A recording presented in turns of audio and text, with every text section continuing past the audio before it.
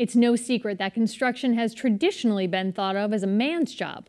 But more and more women are entering the field, and now there are more and more opportunities for them to do so. Carolee McGrath sat down with Jason Garand and Lisa Clauson, both of Local 336, New England Regional Council of Carpenters, to learn more.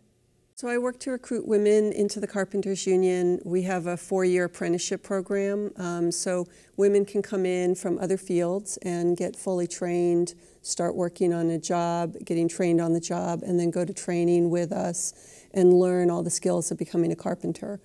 I'm also able to sometimes recruit women who are working non-union um, as a carpenter already, who come in as a journey level carpenter. Um, and then I also work to get more work for the Carpenters Union and for the women that we're recruiting in. So it's getting more owners of construction work to require diversity um, of their, their construction projects that they're running. Um, sometimes that then helps open up opportunities to ensure that women get a fair shake, um, an opportunity to showcase their skills and showcase that they can do this work as well as the men can. So, what kind of opportunities are there as far as jobs right now for women? Uh, all the same opportunities as for men. Mm-hmm. So, uh, construction is a, a, complicated business. It is something that we say from foundation to finish. And uh, whatever you like to do is what you can do. We uh, do the foundation of a building, you're doing the conc- uh, concrete work, you go to the framing, the drywall, the finish, the ceilings uh, cabinets and windows and all that stuff. So what happens is uh, there's an opportunity to come into the program through our, our apprenticeship uh, facility in Millbury.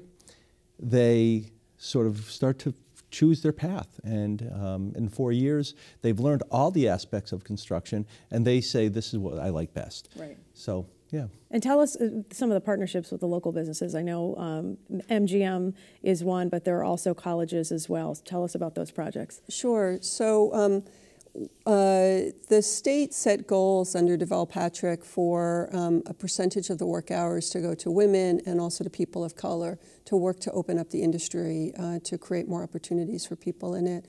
So the State Gaming Commission, when they um, were doing the licensing process for the casinos, said that this was important to them, and MGM followed suit and set requirements of 6.9% of the work hours as a floor, as a minimum, to go to women, 15.3% work hours for people of color, and 8% work hours for veterans.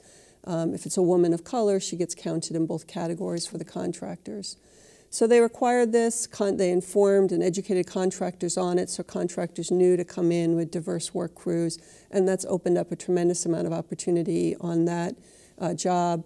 UMass also does it up at UMass Amherst. The UMass Building Authority has similar goals for their work, same numbers. Um, though they don't track veterans, they do it for women and people of color. And so that's created a, a tremendous amount of opportunity on those jobs as well. Um, typically on a a private job construction site, you might find no women or one or two or three um, tradeswomen across different trades working. It's, it's isolating work when you're the only woman on a, a big job site of, say, 100 construction workers. That's not been the case at MGM and at UMass, where there's been these opportunities created. And how do you change that? Like when I have a I have a teenage daughter, okay, and before I send her to you, right? Mm-hmm. I want to make sure that she's going to be treated nicely, fairly, you know, that it's not going to be uncomfortable, but it, but it has to be awkward to be the only gal walking on, and, and intimidating, I would think, walking onto a construction site. Has it changed through the years? Oh, absolutely. I came in in uh, 1989, and at that point in time, there was three women, and it was, you know, the, the industry wasn't looking for women to come into the trades uh, there was no thought of you know how to commingle.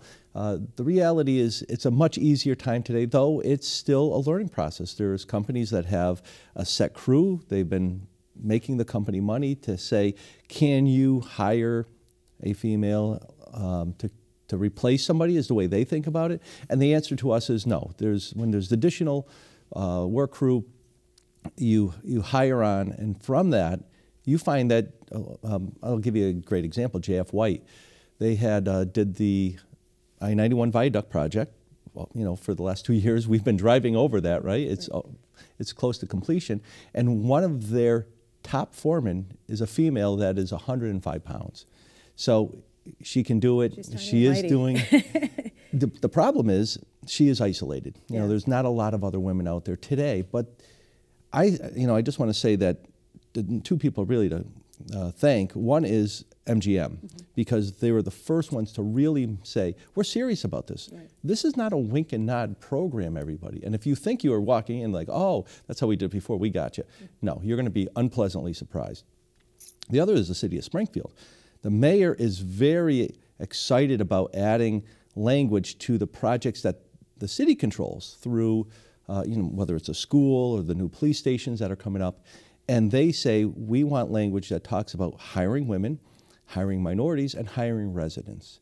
And so that is uh, is a nice segue to the next project for females to come to. And then eventually, what will happen is it'll just be like every other industry in, in the uh, in the country, right? We're the last ones to sort of sort of have that. I think maybe the military is going through it too. So, and if you were to sell uh, young women on this, uh, how much money are they going to make after you know four years of of the training? You know, is this is this a, a, a job that they can have and they can raise children and you know pay a mortgage?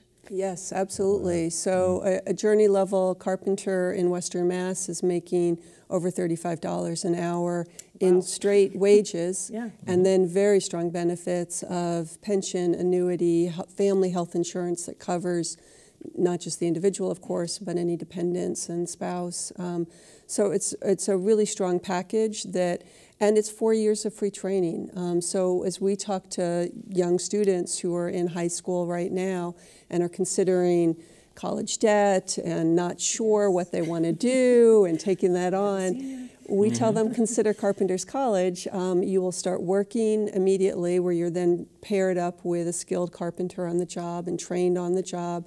And then every three months, you go for a week of school um, through our training center.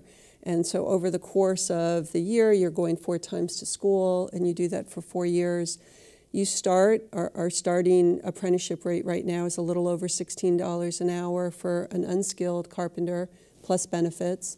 And then um, every year there's an increase in salary as they gain more skills on the job and through going to school with Which us. is not bad for an 18 year old coming out of high school. Right. Well, and actually, um, we have two women who came in. One was a mom, and she was struggling. She was looking for, she moved to Springfield because she just wasn't finding enough uh, job opportunities, and she was homeless. And um, she had the skills, she just needed an opportunity, and she is a success story with us. A veteran uh, came in. She was over in Leeds, and you know moved into the area, saying, "I'd like to put down roots."